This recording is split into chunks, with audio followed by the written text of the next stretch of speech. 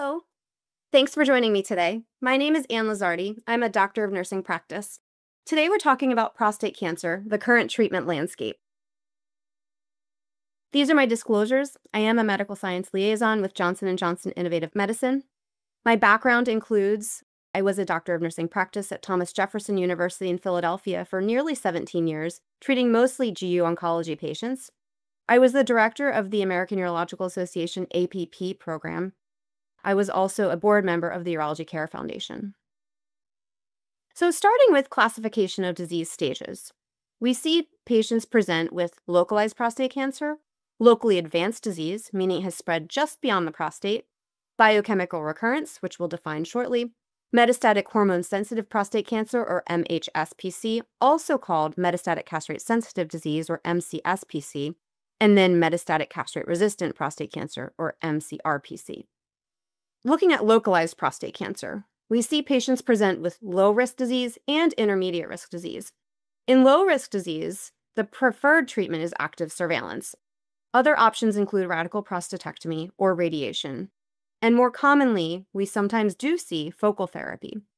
In intermediate risk disease, the recommended treatments include radical prostatectomy or radiation therapy with or without androgen deprivation therapy, or what we call ADT. Additionally, some patients may undergo brachytherapy, which historically was called radiation seeds.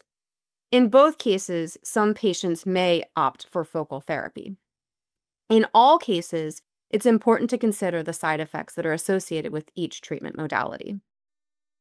In patients with locally advanced prostate cancer, a radical prostatectomy with pelvic lymph node dissection is a treatment option. Radiation therapy with long duration ADT or androgen deprivation therapy, typically for two to three years, is an option.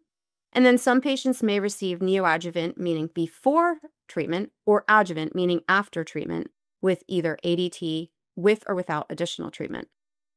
Some patients do undergo an MRI or PSMA for guidance. In patients with a biochemical recurrence, this means they have a rising PSA after curative therapy. So they've had either their prostate removed with a radical prostatectomy, or they've had curative radiation therapy and their PSA begins to rise sometime after treatment. Management depends on PSA kinetics, time to recurrence, and imaging findings, either with MRI or PSMA PET.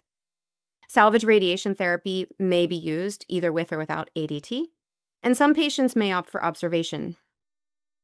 In patients with MCSPC or metastatic castrate sensitive prostate cancer, ADT is the standard of care, and it's typically utilized throughout the continuum of treatment. In these patients, because they have this androgen deprivation therapy, it's, it's important to consider their bone health. Some patients may undergo treatment with bisphosphonates or denosumab.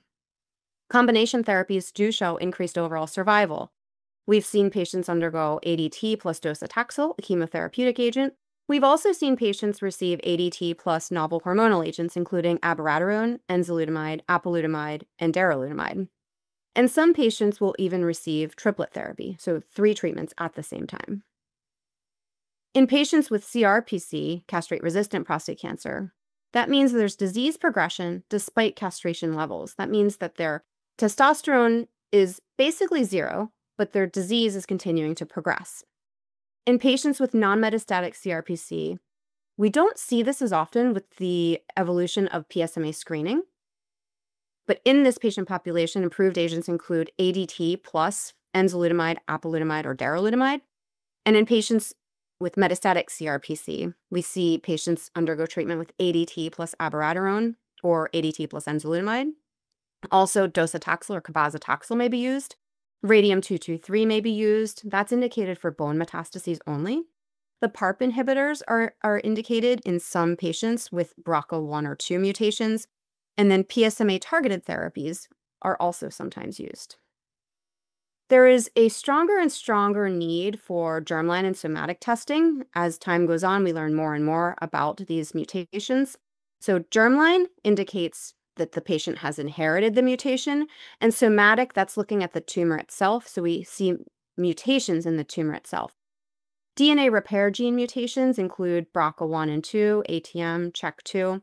These are just a few. There are certainly many others. And then there's HRR mutations, and that's where we see the PARP inhibitors used. In these DNA mismatch repair tumors, immunotherapy is indicated, and next generation genomic sequencing is increasingly used for personalized therapy. We also see a lot of emerging therapies and ongoing clinical trials. So, some of those, certainly not all, are listed here. So, bipolar androgen therapies, so cycling the testosterone levels, novel PSMA targeted therapies or bispecifics, immunotherapy combinations, and AKT inhibitors in PTEN deficient tumors.